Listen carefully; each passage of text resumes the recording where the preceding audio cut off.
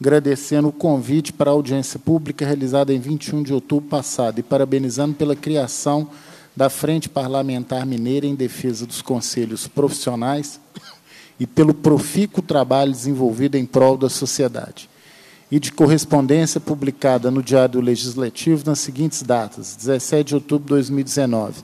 Senhora Maria Júlia de Andrade, chefe do Serviço de Reconhecimento de Direito do INSS, prestando informações relativas aos requerimentos 2758 a 2760-2019. O senhor Bilac Pinto, secretário de Estado de Governo, prestando informações relativas ao requerimento 2305-2019. E do senhor Cláudio Marcas, diretor regional do Serviço Nacional de Aprendizagem Industrial, prestando informações relativas ao requerimento 2883-2019. Passa-se a segunda fase da ordem do dia, compreende a discussão e a votação de proposições que dispensam apreciação do plenário. Sobre a mesa, parecer de redação final dos projetos de lei 5436-2018 720-976-2019. Em discussão, os pareceres, encerra-se a discussão em votação. Se os deputados que aprovam permaneçam como se encontram, aprovado. Oitiva de cidadãos. A presidência destina a terceira fase da segunda parte, ou a segunda fase da terceira parte da reunião, para ouvir o senhor Jefferson Leandro Teixeira da Silva, coordenador geral do Sindeletro MG. Então, gostaria de convidar o senhor Jefferson Leandro e destiná-lo à palavra. Tá, agradecer o deputado Betão aí pelo convite, pela abertura do espaço. Deputado André Quintão, também tem acompanhado a nossa trajetória de luta. Deputado Marquinhos Lemos. É importante trazer essa questão que se refere à negociação coletiva na CEMIG, porque para nós está muito claro, e essa casa precisa saber é, o vínculo né? O que o governo do Estado está desmontando dentro da empresa, que para nós tem uma clareza, nós temos uma clareza muito grande que faz parte do projeto de privatização da CEMIG. Primeiro, fecharam lá 50 localidades, que são bases operacionais que atendiam os consumidores aí ao longo do Estado. Né? O resultado disso foi o distanciamento entre os eletricistas que atendiam serviços comerciais, vinculados a, ao corte de energia, religamento, novas unidades consumidoras, bem como os serviços emergenciais, sobretudo da indisponibilidade de energia. Então, fecharam lá 50 bases operacionais que nós chamamos de localidade. Depois, no segundo semestre, fechou a importante base operacional aqui em Belo Horizonte, no bairro São Gabriel, que atendia aí mais de um milhão de consumidores de energia elétrica.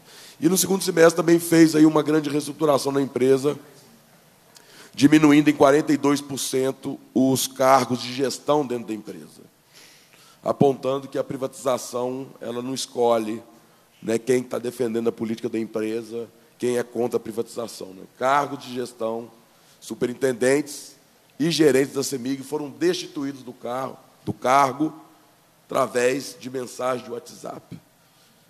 E agora, né, são, foram três procedimentos de redução de custo, fechamento de localidades, fechamento de São Gabriel, reestruturação interna, e agora nós estamos num processo de negociação coletiva do nosso acordo coletivo de trabalho.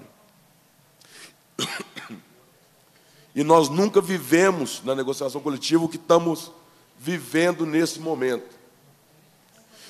Primeiro, a gestão da empresa cerceia o sindicato ao diálogo com a sua categoria, não permitindo que a categoria participe dos espaços que chamamos de setoriais, que são aqueles espaços onde, após cada reunião de negociação, a gente se desloca para as bases administrativas, bases operacionais, para informar como está sendo a negociação, para é, esclarecer a categoria como estão os procedimentos de negociação. Então, a empresa cerceia, dizendo que irá cortar o ponto dos trabalhadores. Ao contrário, após cada apresentação de proposta, a empresa orienta as suas lideranças, gerentes, outros cargos de gestão, a chamarem os trabalhadores mobilizarem os trabalhadores, cooptarem, é, pressionar os trabalhadores a aceitar a proposta que é de interesse da empresa. Isso nós nunca vivemos em uma negociação coletiva na CEMIG. Nós entregamos a pauta de negociação esse ano no dia 13 de agosto. Foi num ato conjunto com a educação, com o funcionalismo público, com os, os trabalhadores das estatais, um grande ato na porta da CEMIG, entregando a pauta de reivindicações um, em simbologia né, da cobrança ao governo de Estado que negocie com todo o funcionalismo público. No entanto, a gestão da empresa nos chama para negociar no dia 3 de outubro. Dia 3 de outubro, chama a gente para uma primeira mesa, onde a empresa vai apresentar a questão econômica, que apresenta uma recuperação em relação à sua condição econômico-financeira nos últimos anos, que teve muitos problemas financeiros, o sindicato topou fechar acordos coletivos sem reajuste com aumento real, compreendendo a realidade da empresa, mas nesse momento a própria gestão da empresa comunica ao mercado né, que essa recuperação ela vai refletir diretamente na política de dividendos.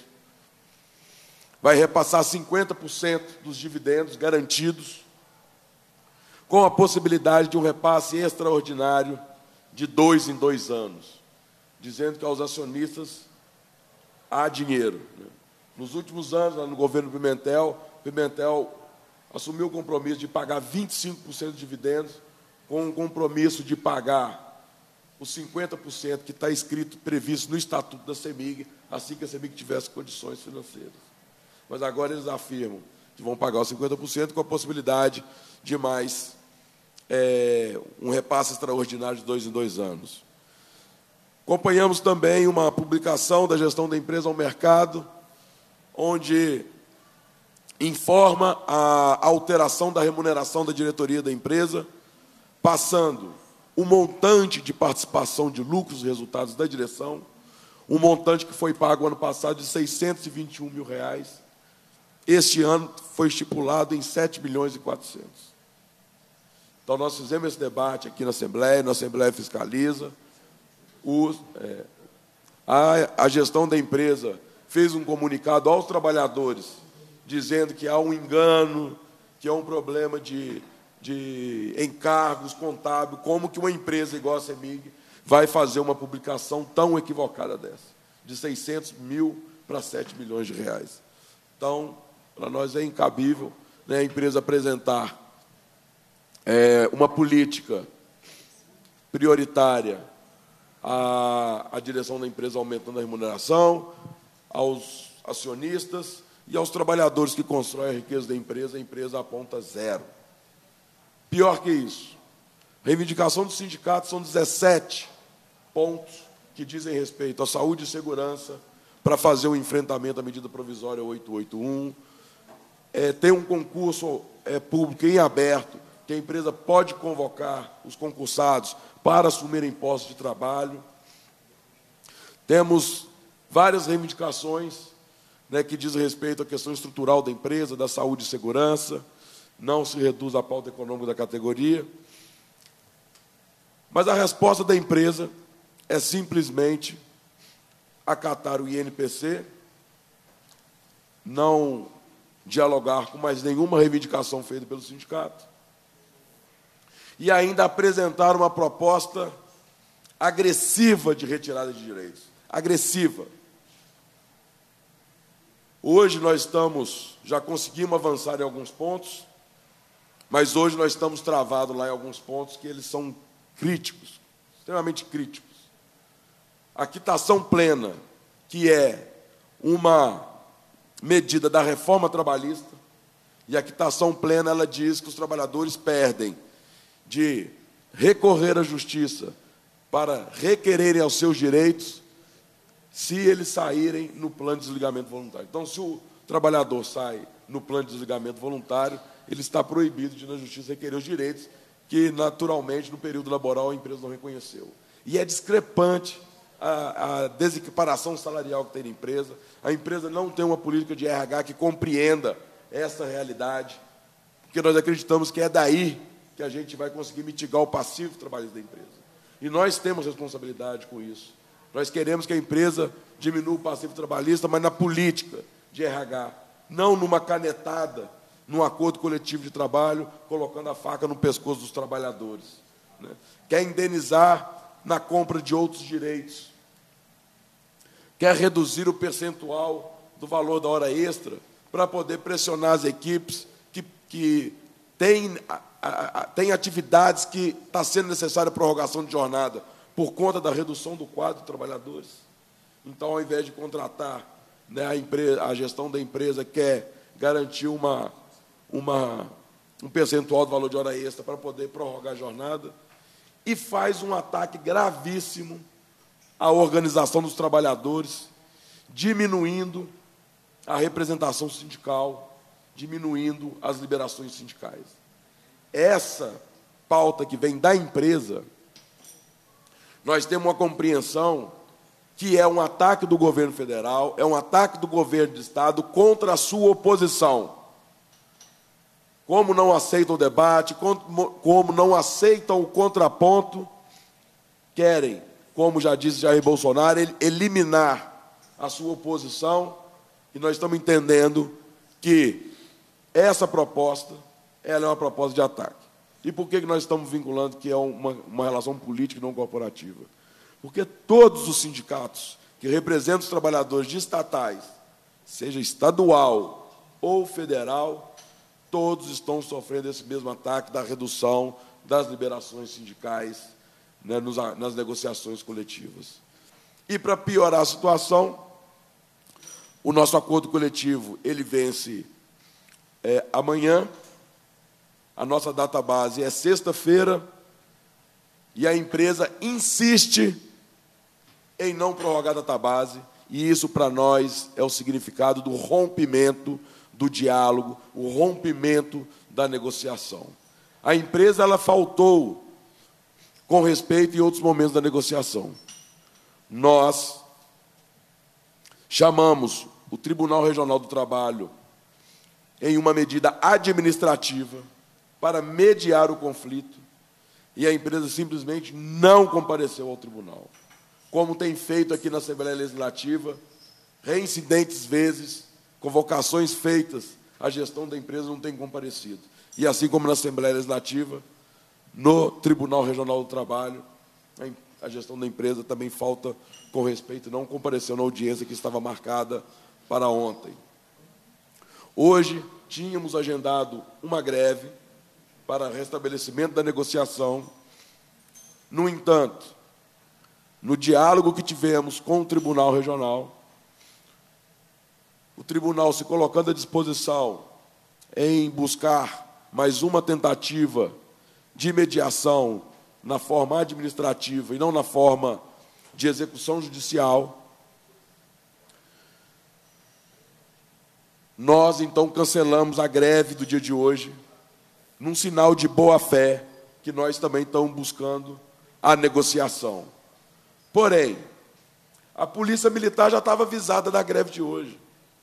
Chegamos na porta da base operacional do anel rodoviário, localizada no bairro Camargos, e haviam lá duas viaturas da polícia já nos esperando. E os trabalhadores da madrugada disseram: não, eu passei aqui 4h40, já estavam aqui. Para, obviamente, reprimir algum movimento paradista é, aí no dia de hoje. Mas como nós precisamos avançar na negociação, então vamos ter uma mediação no tribunal, terça-feira, dia 5 de novembro, às 15h30, e vamos ter é, as assembleias de hoje até sexta-feira, estamos deliberando a rejeição da proposta que retira direitos e a greve para o dia 6 de novembro, para pressionar né, a reabertura de negociação e que a gente possa aí fechar o acordo sem de, conflitos desnecessários. É importante lembrar que em 2017, quando a gestão da empresa trouxe a quitação plena na discussão do acordo coletivo de trabalho, nós debatemos, discutimos, nós não precisamos fazer greve e nós fechamos um acordo sem a quitação plena. Esse ano, a empresa, a gestão da empresa está vindo com uma intransigência tal que coloca né, a faca no pescoço do trabalhador, um processo de negociação atropelado do dia 3 até hoje, um mês, menos de um mês de negociação, já coloca a faca no pescoço do trabalhador, dizendo que não tem mais proposta, que não vai no tribunal e que não vai fazer, e que se não assinar um acordo, o acordo vence sexta-feira, e que a partir de semana que vem ela já pode aplicar a nova legislação trabalhista. Estão fazendo um terror com a categoria eletricitária, né? e nós, é, sempre contando aí com a Assembleia Legislativa, voltamos aqui à casa, né? porque é uma casa que consegue, né, sempre conseguiu estabelecer a mediação desse diálogo para que a gente consiga né, superar as arbitrariedades da empresa e avançar nessas negociações que elas são importantes para os trabalhadores, são óbvias que elas são importantes para os trabalhadores, mas elas são importantes para o conjunto da classe trabalhadora. Porque se cada sindicato admitir a perda de dirigentes sindicais nas suas organizações, é a fragilização da luta da classe trabalhadora e do enfrentamento contra essa política neoliberal em Minas Gerais e no Brasil. Novamente, gostaria de agradecer a oportunidade, né, a casa, e que, que a gente possa tirar daqui também alguns encaminhamentos possíveis. Obrigado, Jefferson. Vou passar a palavra ao deputado Betão. Obrigado, presidente. É, quero me dirigir aqui ao presidente do Sindicato Solicitário, Jefferson. É, o relato que você fez aqui, e eu como sindicalista, né, que ainda sou, é, já nessa lida aí por muitos anos, é a demonstração, tem, são, são duas, duas questões aqui que estão muito claras. Primeiro é que há um processo já de, por parte dessa direção de desmontar a empresa para tentar privatizá-la. Né, e que isso vai passar aqui também pela Assembleia Legislativa. Né, o fechamento das estações, né, esse fechamento aqui da estação de São Gabriel, lá na Zona da Mata, na minha região lá, uma reclamação enorme, inclusive os trabalhadores né, que viviam já há muitos anos nas cidades, eh, que foram deslocados para 100 quilômetros, 120 quilômetros, né, e tem que fazer esse trecho para poder estar tá atendendo quando há uma queda de energia, por exemplo. Né. Então, isso já é uma demonstração. E esse processo que você relatou, deputado André Quintão, que foi relatado aqui, da negociação coletiva, é, praticamente chega no limite da prática antissindical. É, não querer adiar né, a database, é, dar mais um tempo aí para poder fazer a discussão já uma forma de estar pressionando né, as categorias, e a retirada das liberações, né, porque um sindicato que tem essa, esse tamanho, né, que são centenas de milhares de trabalhadores, é, não garantir a liberação né, desses trabalhadores faz parte daquela discussão é, que vem sendo feita que acha que o sindicalista é vagabundo, né, que ele está lá na o sindicato que não está querendo trabalhar. Que, aliás, é ao contrário. Lá que você trabalha mais ainda, né? porque é muito, são muitas questões que precisam ser resolvidas. E, às vezes, no é no sindicato que você vai resolver questões que você nem precisa ir na direção da CEMIG, lá no próprio sindicato, né? ele acaba ajudando nessas questões também. Então, é, nós vamos prestar toda a nossa solidariedade nessa aos sindicatos do, do, dos eletricitários. Essa ameaça de querer aplicar a nova legislação trabalhista é uma ameaça né, que vai passando por vários sindicatos também, de diversas categorias. Essa legislação trabalhista perversa que foi aprovada no governo golpista do Michel Temer. E a intenção nossa é apresentar aqui também um requerimento, requerimentos né, que estavam sendo preparados durante a sua fala. Cadê se o. Está aqui. Está aqui? Precisa ter o quórum, né? É. Que nós vamos tentar restabelecer aqui para poder aprovar o requerimento, inclusive o requerimento da prorrogação da database. Isso, para ser enviado Exatamente. Né? Que aí, pelo menos, dá uma. tira do sufoco né, os sindicatos eletricitários e permite, inclusive, que não haja necessidade de uma radicalização né, e as negociações possam correr tranquilamente. Eu vou até assinar convidar o deputado André também para estar assinando. Eu vou suspender por dois minutos para que a gente retome o quórum e possa fazer a, a aprovação. Agora. Acaba de chegar o deputado Marcos Lemos, então não vai ser nem necessária a, a suspensão. Primeiro, é, assim como o deputado Betão, queria dizer também ao, ao Jefferson, à direção do Sindialetro, é, que o maior patrimônio que uma empresa pode ter são seus trabalhadores e trabalhadoras. E essa tentativa sistemática do atual governo de desvalorizar tanto a empresa, que tem uma folha de serviços prestados ao desenvolvimento de Minas há décadas, como seus trabalhadores, inclusive numa tentativa de enfraquecimento institucional para viabilizar a sua privatização, tem a nossa total é, objeção aqui nessa casa, assim como a total solidariedade aos trabalhadores e trabalhadoras, e nada mais justo quando o período é, do acordo vai se encerrando que haja uma prorrogação para que evoluam as negociações. Então, foi apresentado aqui, é, deputado Marcos, Vossa Excelência também poderia, se quiser assinar, um requerimento dos deputados requerem seja encaminhado à Companhia Energética de Minas Gerais, CEMIG, pedido de providências para retomar as negociações com o sindicato, bem como prorrogar a data base por mais 30 dias, como tem ocorrido nos últimos 10 anos. Quer dizer, é uma prática que tem sido é, repetida em, em, governos né, em face ao impasse, e a, a, a, dúvida. Só no termo aqui, porque aqui estando com sindicatos, é só um sindicato ou tem mais de um tem participante? Mais, tem mais tem de um. Mais. São mais, então tá. Então, vou colocar aqui o requerimento. Sim.